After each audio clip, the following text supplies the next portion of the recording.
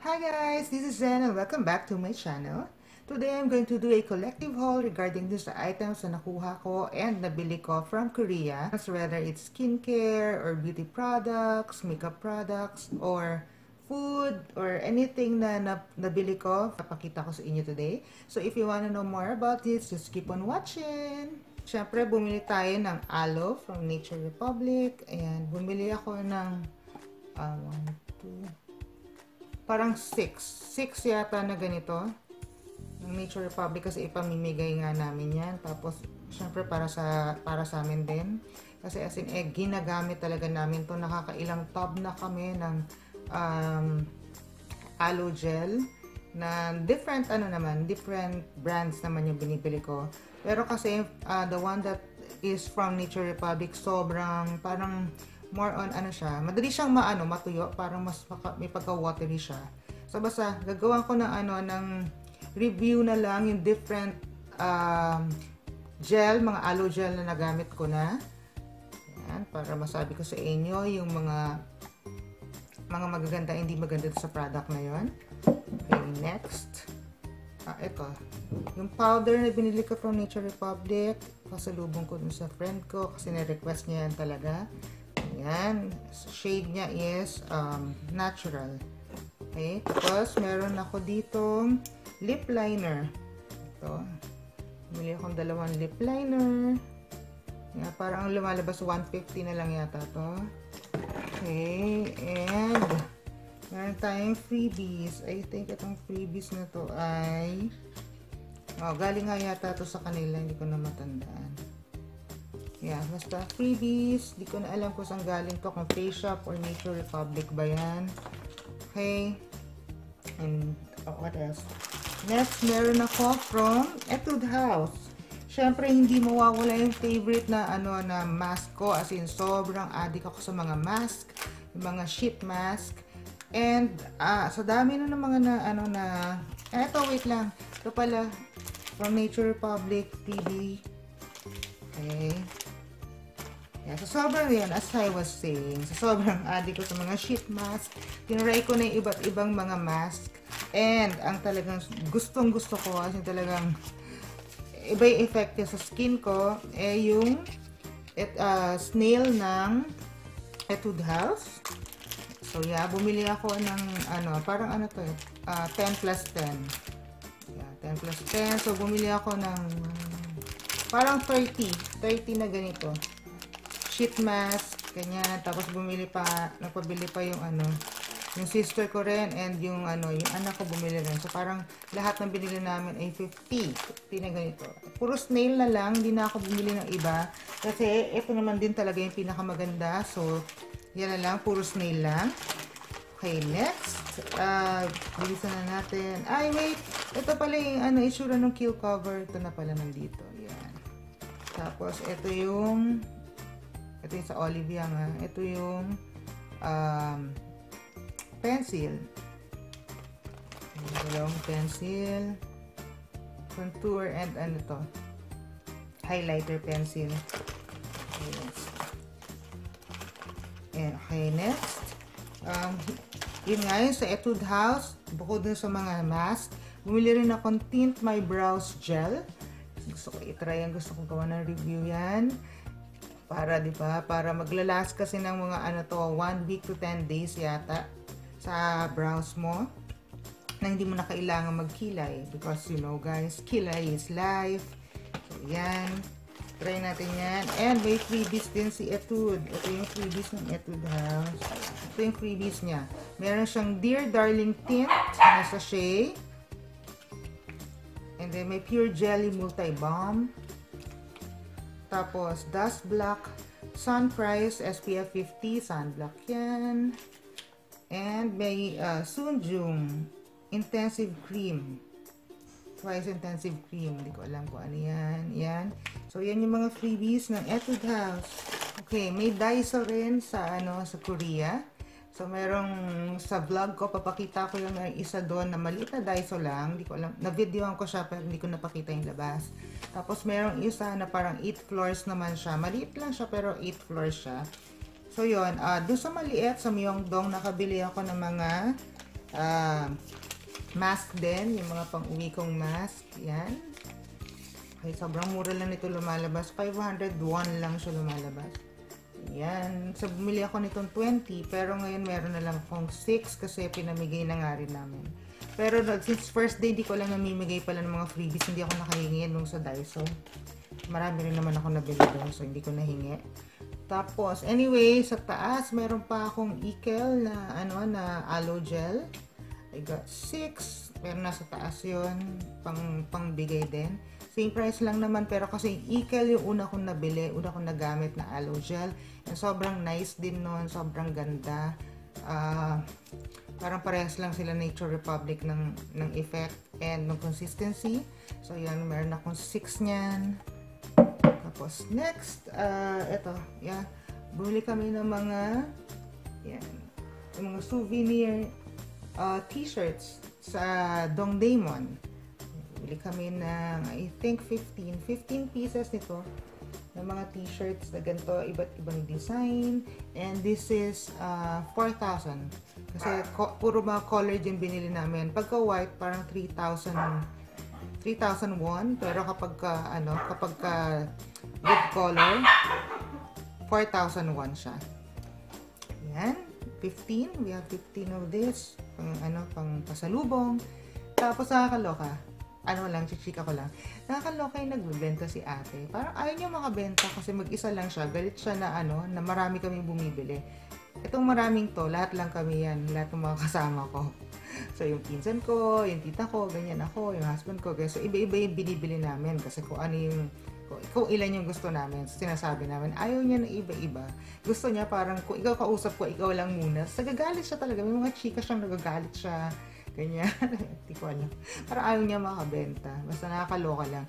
Tapos doon pala, doon sa, kasi siya yung nakita namin na ano, unang shop. Malaki yung shop niya. Eh, ang daming bumibili. Tapos pag paglakad mo, meron pa palang isa. Tapos yung color nitong sabi nila namin parang white, black, and blue lang. Tapos sa susunod pala parang may red, may pink, may green. Mas marami, tapos mas mura. So, diba? So, nakakaloka si ate ko maka-arte. Hindi ko na rin alam. Pero ano ba siya? Ah, Ajuma. Basta matanda na siya kasi. Ganyan. So parang naiinis siya siguro hindi siya masyado marunong mag, hindi rin siya marunong mag-English. So, kalkyo-kalkyo lang ang usapan. Anyway, uh, let's move on. Pa yung mga bili namin. Yeah, ito from Daiso. From Daiso, yan, bumili kami ng gloves. Ito nandito kasi galing pa sa luggage ko. Gloves, bumili kami ng parang 4 gloves, tapos mask yung pang dito nga. Mas maganda pa yun kaysa doon sa nabili ko na nakakita sa vlog ko yon Parang sa kanila sa Daiso, parang uh, ah, 2,000 lang yata, 3,001. Pero dito sa ano sa sa kalye ko sa mga Myeongdong or sa Dongdaemun pag nakita mo, yun yung mga plain or yung may design, 3,000 to 4,000 won yun. So mas mura sa Daiso guys. So bibili kayo ng ano ng face mask, mas mura sa ano sa Daiso. Tapos parang mas makapal pa siya. Anyway, um, eh, ano pa ba? Socks. Ang cute ng mga socks. Kahit saan ka magpunta sa Hanok Village, meron kami nabili doon na parang 1,000 lang yung socks. So, ito. Ito yung sample ng socks ko. Starbucks. Kasi yung iba, nasa mga luggage pa nila. So, basta 1,001. Pero sa Myeongdong, meron doon sa Myeongdong Station, parang 1,001 din, pero parang 10 plus 1. So, mas mura siya. So, yan. Bumili kami doon. Tapos sa Dongdaemun, 1,000 din. Pero pinaka-mura ngayon sa Myeongdong kasi meron siyang plus 1 pagka ano, ang cute mga socks talaga, nagkakagulo yung mga tao. And mostly Filipino. Nakakaloka. Eh, parang sa Pilipinas, sa Divisoria lang ako. Kasi nag-uusap ko sa mga Pilipino parang, ito cute to, Channeline, ganyan, ganyan. Nakakatawa. Anyway, um, what else? So, meron akong sobrang kinaadikan na ano na na, na food doon. Ito yung honey butter almond. Ayan honey butter almond. Lalagyan na lang to kasi naubos na. And nabili ko to sa um, duty free na. Nabili ko sa duty free ng um, $18 na siya for 3 packs ng 250 grams na almonds. So, hindi na masama. para lumalabas. 320 pesos each. Pag dito mo binili, 400 pesos pala to. Kasi syempre almond siya guys. So syempre mahal din talaga yung tindi mo na mahal yan. So, siguro kung nabili ko to sa Lotte or sa E-Mart baka mas mura. Pero hindi, hindi ko napansin doon. Ang nabili ko doon, nag sobrang gusto ko rin yung honey butter na chips. Ito rin yung lalagyan niya pero chips siya. Yan. Bumili rin ako noon. Pero nakain ko na. Hindi ko na na ano na save. Ito rin na save ko kasi talagang this is so addicting and sobrang sobrang sobrang sarap nito na talagang kinikrave ko siya hanggang ngayon. 'Di ba? Yan, yun yung nabili ko. Okay, next, nung nagpunta kami ng Dong Daeman, um, meron doon, uh, Miori yata, ang pangalan ng ano, mall na yon. So, maliit na mall siya, napataas lang din siya. And, ang mga nakikita doon, parang mga, bilihan siya ng mga damit, um, ano pa ba, shoes, bags, and accessories. Yun yung mga nabibili doon. And, Sobrang kasi, sobrang ganda daw ng mga accessories na galing sa Korea kasi hindi siya nagta-tarnish. Naglala siya talaga ng matagal. Tapos sobrang mura rin niya. Eh, ito yung binili ko para sa anak ko. Parang something for her to remember autumn in Korea. Ayan. Yung una kong binili. This is silver. Tapos may mga gem-gem siya na ganyan. Tapos necklace to. Yan, binili ko para sa kanya.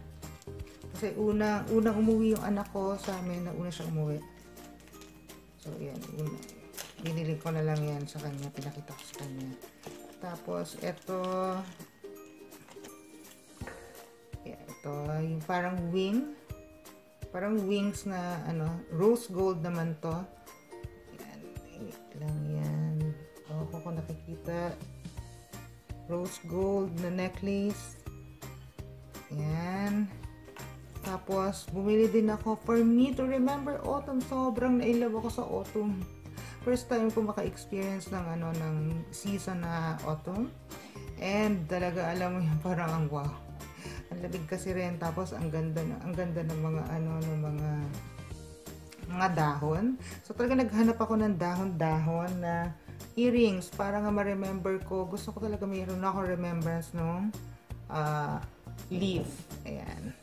So, bumili ako ng earrings. Ito yung itsura niya. Ayan. Nice. This is rose gold. Ayan, pag sinuot mo siya, malaki siya. Hindi katulad ng isang na-try, na-try ko. Ayan, malaki siya. Ganyan. Try natin para makita niyo.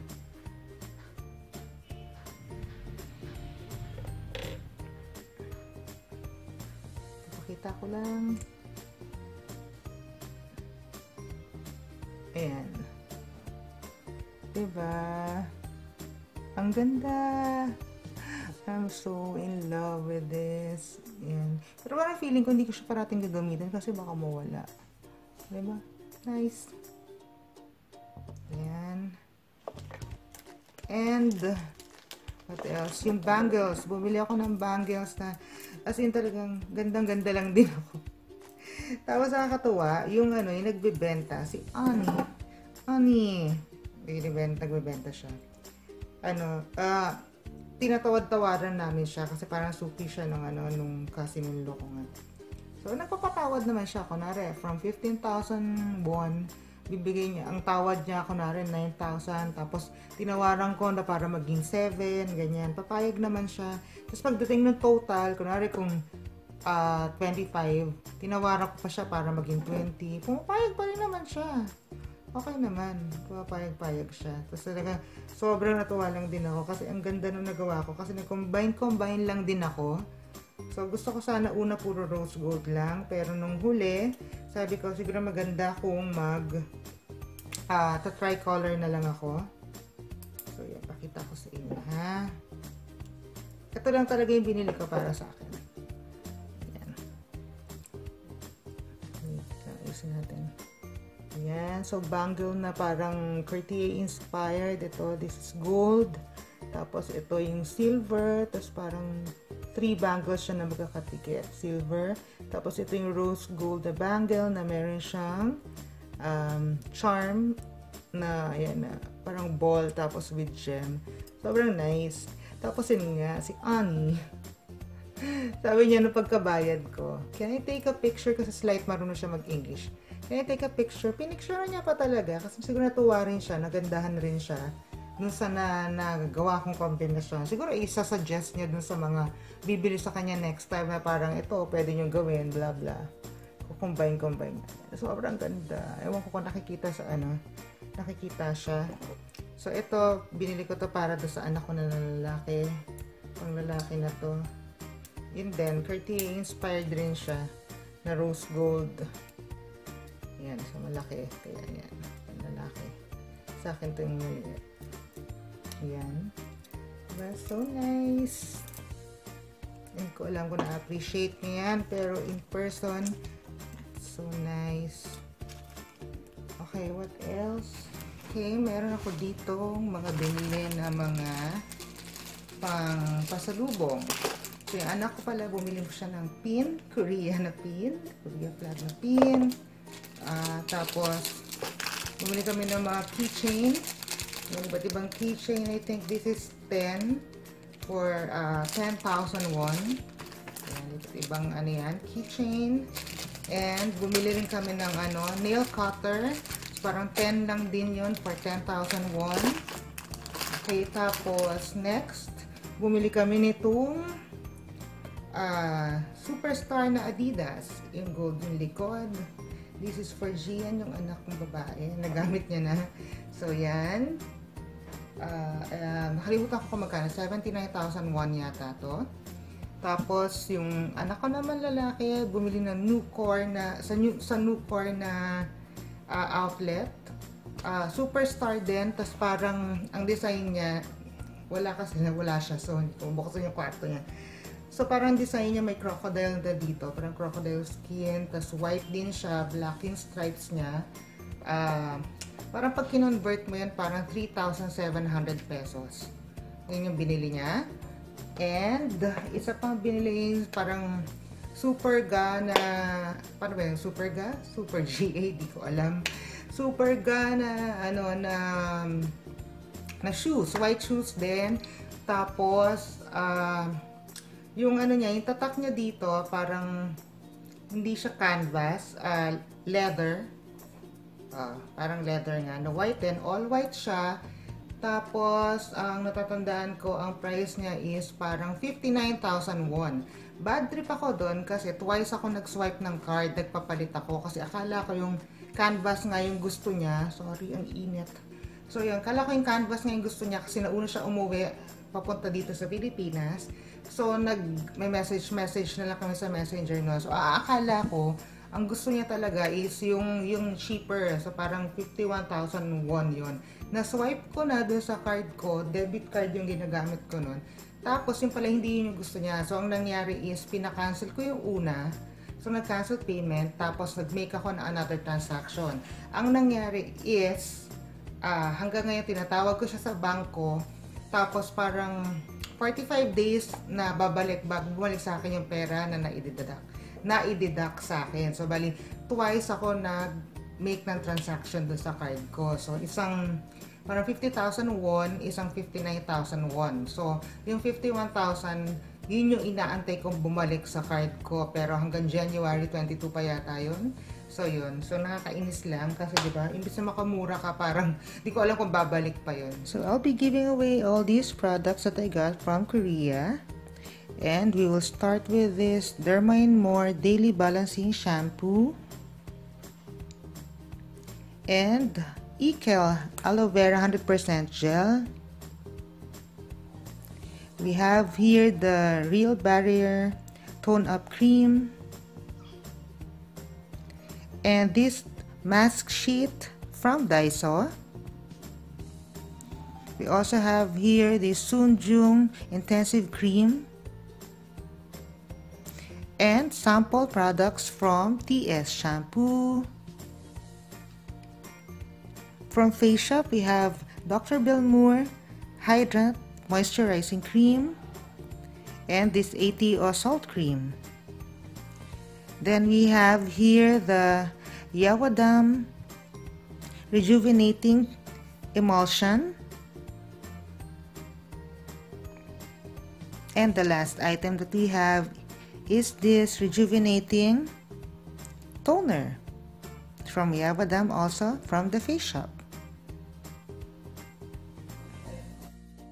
do check the description box for all the mechanics on how to join this giveaway. I'll be choosing just one winner, so good luck guys! And I hope you like this haul and give this a thumbs up and do subscribe to my channel. And please follow me on Twitter and on Instagram. That's everything about Sen. I'll put the username down below. And um, parati akong ano, may post sa IG. Uh, watch my IG stories. And I'll see you guys again later. Bye!